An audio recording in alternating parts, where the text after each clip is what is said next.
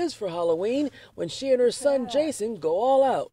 Yes, his name is Jason. This is not all of them. My son has a pickup truck. It was loaded yesterday with dead guys. It's gonna be a bummer, man. I was like, I'm gonna get all this candy and stuff, but it, I can't. The city engineer for Wyandotte says the roach infestation was discovered on August 12th when police went to do a welfare check and found so many roaches the house was deemed to be unsafe and unfit for occupancy. And when the people began moving their stuff out, the roaches began to march out too with the roaches just crawling everywhere right in the broad daylight. Roaches are only going to go as far as where their next meal is. Mark Parton is with Patriot Pest Solutions. If they live in the area, I would just make sure that around the perimeter house, their actual house itself, things are sealed up pretty good.